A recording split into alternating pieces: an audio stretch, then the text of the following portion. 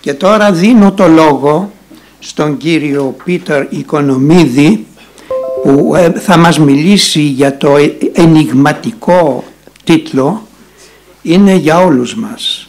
Έχετε το λόγο. Ευχαριστώ πάρα πολύ. Λοιπόν, get this guys, I've just been introduced by somebody called Jacques Bouchard. And I got a name, Peter Economides, written in Greek, right? but I'm going to speak English. um, you'll be thankful, because if I spoke in Greek, you'd understand how badly I speak. I'm very fond of relating one particular tale. Παράγγειλα μια σαλάτα με μπατζούρια. Ευτυχώς δεν είχανε.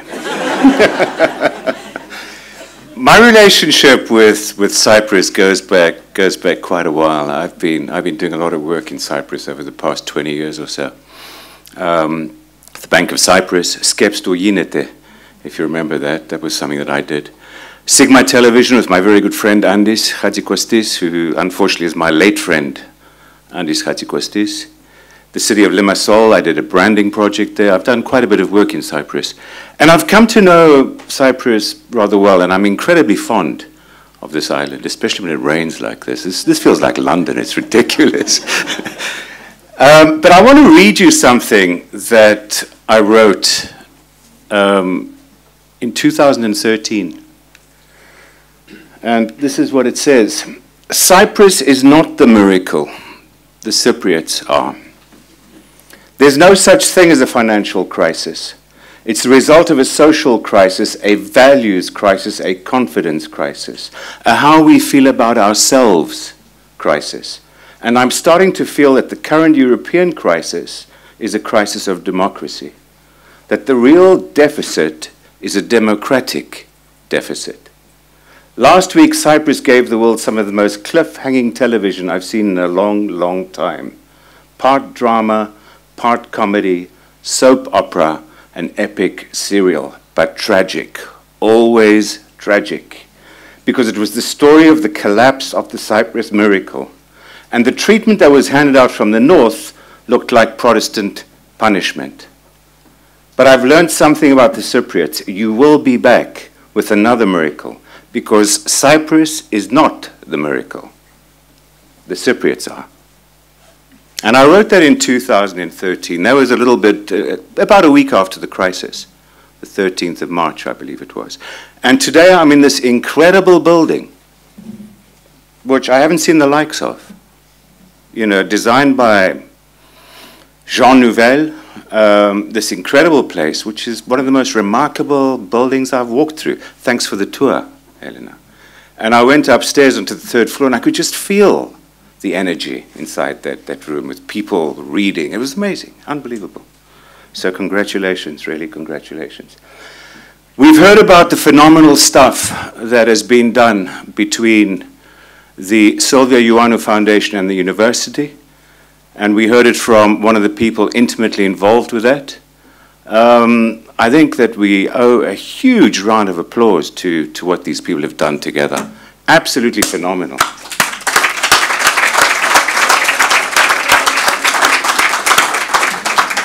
But if that's what they've done, I'm going to talk about how we're going to talk about this to the world. How are we're going to present all of this new stuff, this new thinking to the world. And I'll also talk about the bigger ambition of creating a platform that is open to all humanity. That we can take this kind of stuff and let humanity share with us. Not just our history, but their own history. So I'll talk a bit about that too. Very timely. A couple of days ago, I came across this article um, Athens in Pieces The Art of Memory.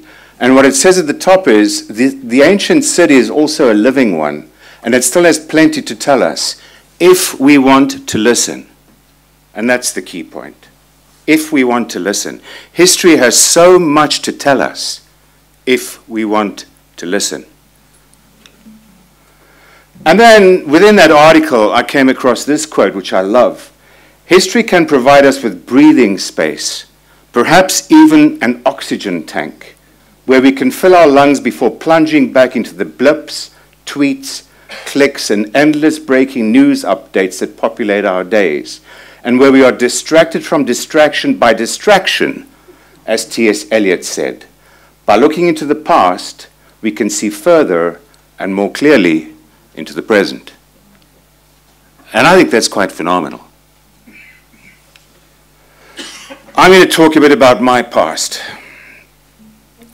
My past involves an island called Imbros, which today is part of Turkey. My grandmother on the right hand side, my grandfather next to her, left the island in 1922 as refugees. They had to. And they went to South Africa, of all places.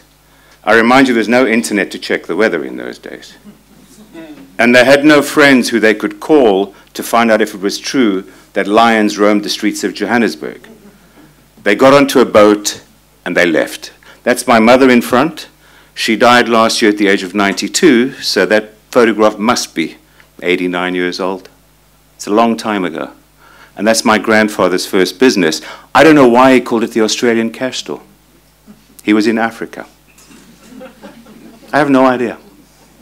Absolutely none. I wish I knew. It's those little bits of information that inform the present. I wish I knew. I really wish I knew. I lived in a house full of old leather suitcases with weird photographs of people that I'd never met, who I would never meet, who I got a glimpse of, but I knew nothing about them. That would have enriched my knowledge of who I am. I don't have that. I don't have it. And I think that culture works something like that. It's lots of little strands which together become incredibly strong and powerful. But if those strands start to break, the rope breaks. I did that little diagram for some work that I did on the Benaki Museum at the height of the crisis. And what I said is, on the left hand side, incredibly strong, is the glory of the distant past. It's there. In fact, sometimes it's a very heavy weight on our shoulders. There's much to live up to, many times. Over here is the wretchedness of the present. I remind you, this is the crisis in Greece that I'm talking about. And following from that is the fear of the future. In the middle, there's what I call the fading memory of the in between. And that's where the rope breaks. The distant past is indelible. It's the not so distant past which is fragile. And that's a paradox, but it's true. Another quote from that article by Simon Critchley. He says, In order to recall something, one has to identify a locus, either in the interior palace of one's memory or by constructing an exterior physical memory theater. Various attempts to build such memory theaters punctuate antiquity. It's a practice picked up again in the Italian Renaissance and continuing to the architect- architecture of Elizabethan theatre, like Shakespeare's Globe and beyond. This whole notion of a memory theatre, which allows memory to play, is quite remarkable. And I thought about that. This building is a memory theatre. It's a remarkable memory theatre. When you look up and you see this incredible needle going up towards this incredible roof with the light coming in, it's a memory theatre. It provokes memory. It provokes interest in stuff. That too is a memory theater, the Zephyros program.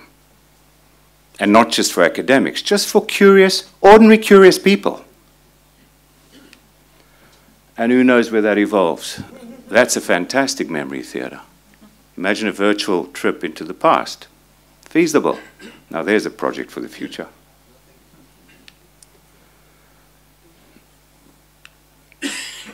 Understanding the past informs the present and it illuminates the future. It's past, it's present, and it's future, and it's one continuous thing. That's my company. Um, it's a brand consultancy based in Athens. I do a lot of work around the world. I do work for some big corporations, for some small corporations. I do a lot of work with startups. And from time to time, I get to do amazing stuff with people like Sylvia and the Sylvia Ioannou Foundation. And I'm very thankful for that. So, that's Sylvia, the Sylvia Ioannou Foundation logo, but you might have noticed some things changed. Anybody notice the change? No?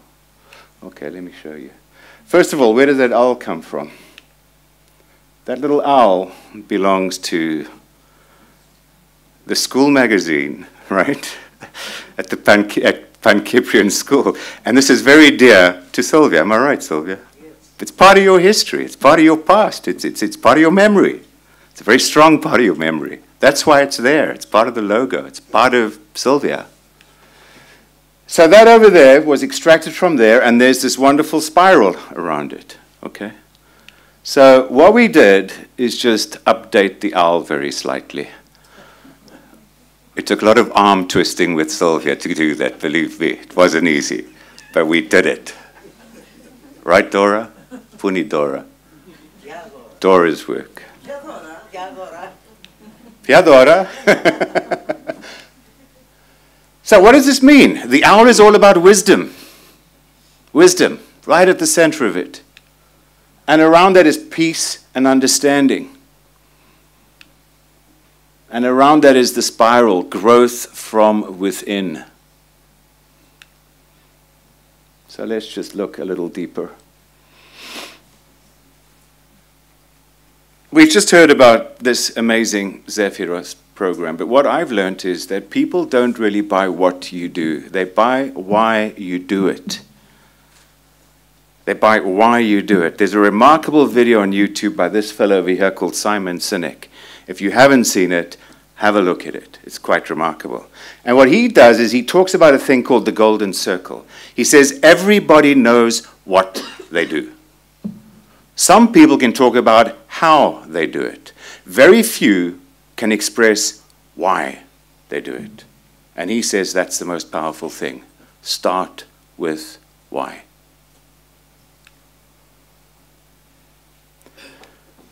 So let's look at the why of the Sylvia Ioannou Foundation. I remember sitting down having long, wonderful chats, really human, wonderful chats with Sylvia, with the people at the foundation, with Artemis, and asking all sorts of questions. And I want to share some of the answers with you because they're quite remarkable. I said to Sylvia, Why did you start collecting books and maps? And she said to me, I wanted to safeguard and protect our history and our heritage. She told me this was the time of the invasion. She was afraid that history might disappear, that memory wouldn't just fade, it would be erased. She wanted to safeguard our history and our heritage. I said, Well, now, why do you want to? What's this all about? Why do you want? It's your collection. Why do you want to spread it? She said, I wanted to share the knowledge and inspiration of the past. In other words, on the left hand side, and, and this, I kind of made that circle, and I saw on the left hand side, I love my origins.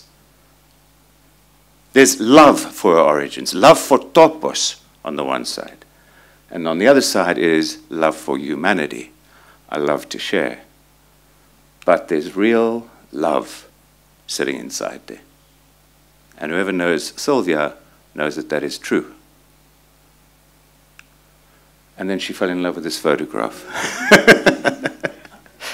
which I think is beautiful. A little kid playing with an iPad. And that was a natural. That came from there. It's for all of us. It's not mine. It's for all of us. It's our knowledge. It's our past. It's our inspiration. That's the why. It's for all of us. So let's dig a little deeper. I then looked at this spiral and I started thinking, what's this spiral all about? Okay. And I realized it's all about growth from within because the spiral just continues to expand. Gnothi safton, as the ancients used to say. And when we think of growth, we think of it that way that things become progressively bigger. Nature knows better. That's what growth looks like. And it starts from the middle. That, as some of you may know, is the Fibonacci series, which you find everywhere in nature. You find it there. You find it on a cactus plant. You find it in the way that a rose expands and grows. You find it throughout nature. You find it in this building. That's a photograph of a staircase in this building. And if you look at the form of this building, look at that. It's all circular stuff. It's all growth. It's all expansive. Look at that. It's beautiful. And look at that. Stunning. But that kind of stuff also exists in the universe. That's what growth is all about, the spiral. So, things that powerful brands have to do is manifest their why, is to really make it clear why they do what they do. And they usually do that in a manifesto. And here's the manifesto that we created for the Sylvia Ioannou Foundation. When the love you feel for where you've come from becomes a private collection of knowledge, information, and memory, it needs to be shared to become an open inheritance and an accessible source of inspiration for all humanity. Because it's the past that informs the present and illuminates the future. It's for all of us. So it makes it terribly clear. It makes it terribly clear. But these kind of statements must be honest, because if you can't live by them, they become lies. I know that the foundation lives with that. I know that. So that becomes a manifesto. That's a possible piece of communication for all humanity. That photograph, by the way, is taken at a school in South Africa called Saheti, which is a Greek language school. I'm on the board of that school. It's a phenomenal institution. Started by George Bizos, who was the, um, the lawyer to the attorney to Nelson Mandela. Remarkable man. Black kids, Greek kids, all sorts of kids there. And of course, Sylvia's favorite little kid. You're going to see a lot of him. So when the love you feel for where you've come from becomes a private collection of knowledge, information, and memory, it needs to be shared to become an open inheritance and an accessible source of knowledge and inspiration for all humanity, because it's the past that informs the present and illuminates the future. It's for all of us. Show me a person who's never Googled an X, and I'll show you a person without an internet connection. It's remarkable how this word Google has become a verb in every single language around the world. Right? We all use it. Google. Tase googlaro, leme. But I grew up with that. There was no Google. The Encyclopedia Britannica. Remember that? Standard feature in our lives. Homework to do, where's the encyclopedia? We're all digital migrants. We've migrated off that and we've moved into the world, into the digital world. Sylvia's little kid is a digital native. He knows nothing else. This is his world. And if we can't produce the kind of tools that he's going to want to use, he's not going to use them. He'll be playing video games we have an absolute need to create beautiful, wonderful, simple, exciting tools which share the past. Because if we don't do that, we're damaging the future. Now imagine a searchable interactive digital platform, home to the world's leading collections, not just the Sylvia Ioannou Foundation's collections, home to the world's leading collections. open to the world's knowledge seekers, not just students and scholars, anybody who wants to find out stuff. Like why on earth my grandfather called his store the Australian cash store. Maybe I'll find the answer there. A place to explore, discover, and share. A place accessible to all, because it's for all of us. And that's really the bigger ambition. A memory theatre. A memory theatre. A place you want to visit for great experiences, a memory theatre. Now, we wanted to get a name for this, and here I always go back to Shakespeare. A rose by any other name would smell as sweet. That's a stupid name for a computer company. Imagine if I proposed to you, well, let's just call it banana. You'd say you're nuts. Well, these guys were nuts. That over there was the original, that's the original Apple logo, right? When these were a couple of kids in California smoking dope on the beach and playing around with electronics, right? And around the side it says Newton, a mind forever voyaging through strange seas of thought alone. But that's the DNA of Apple. That's where the name comes from. The apple falling onto Newton's head. Anybody tell me what that is? That's called a googol. A googol, actually, 10 to the power of 100, which some mathematician in the United States asked his kid, What's the biggest number you can imagine? And his kid said, 10 to the power of 100. He said, What are you going to call it? He said, a googol.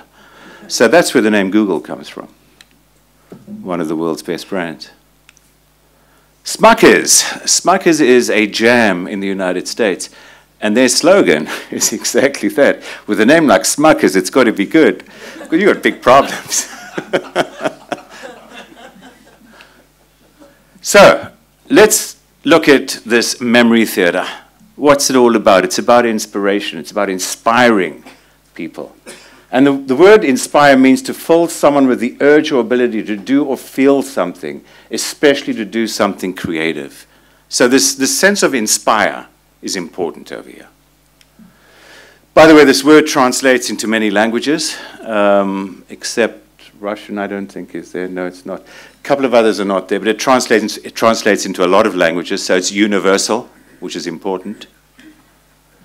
We've got a spiral at the heart of the logo, I remind you, so we wanted to try to work with that as well. And we've got this sense of it's for all of us, sharing with all humanity. So that's what we need to convey. Yeah? So here's the name In Spiral.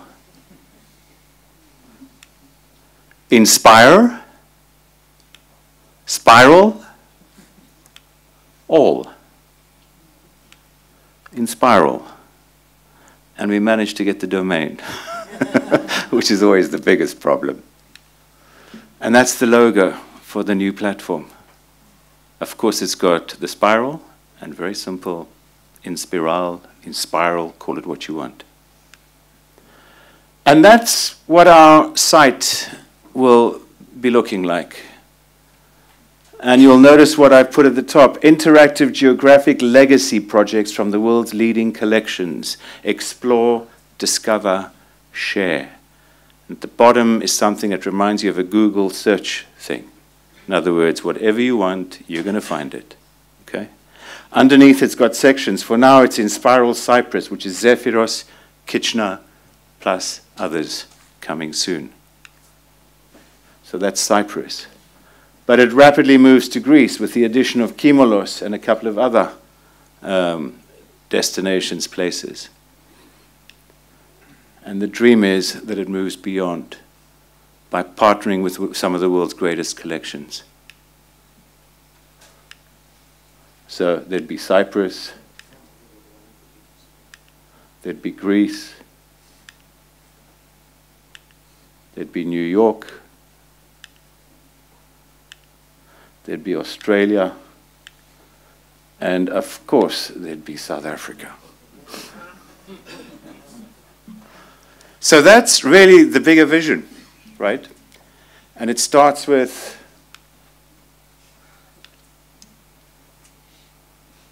this kind of thinking. When the love you feel for where you've come from becomes a private collection of knowledge, information, and memory, it needs to be shared to become an open inheritance and an accessible source of knowledge and inspiration for all humanity, because it's the past that informs the present and illuminates the future. It's for all of us. And it goes straight back to that. It's for all of us. Thank you very much indeed. It's great to be here.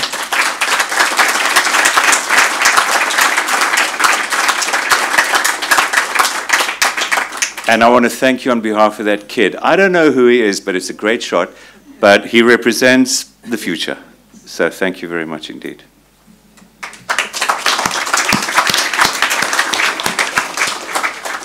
Ευχαριστώ τον κύριο Οικονομίδη για την ομιλία του